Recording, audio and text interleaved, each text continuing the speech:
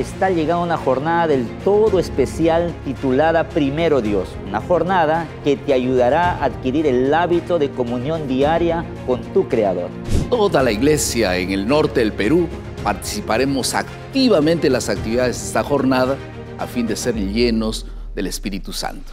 Este viernes 19 de abril, a través de nuestras plataformas de redes sociales de Adventistas UPN a las 7.30 pm, participa del lanzamiento de este plan y entérate de todos los detalles y de su desarrollo.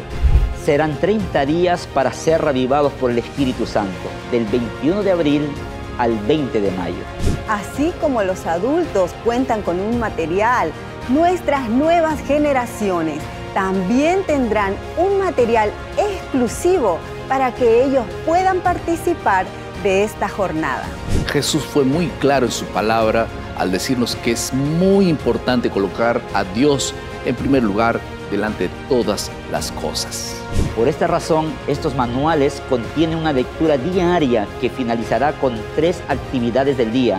El estudio de la Biblia a través de la lección de escuela sabática, la oración y los cultos vespertinos. Luego de leer el tema del día, busca un lugar adecuado para estudiar la Biblia a través del estudio de la lección de escuela sabática. Pasa momentos a solas con Jesús, leyendo cada texto bíblico. La segunda actividad está enfocada en la oración, recordando que cada día tenemos un motivo específico en el plan de los 365 días de oración. Pero a partir del sexto día, ahora vamos a agradecer, vamos a confesar, vamos a interceder y vamos a pedir la presencia del Espíritu Santo. Y finalizaremos las actividades de cada día participando junto a nuestra familia del culto vespertino.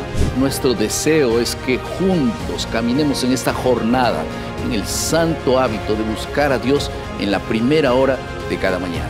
Participa y busquemos a Dios en la primera hora de cada mañana hasta el gran encuentro, porque nuestro Señor Jesús está a las puertas.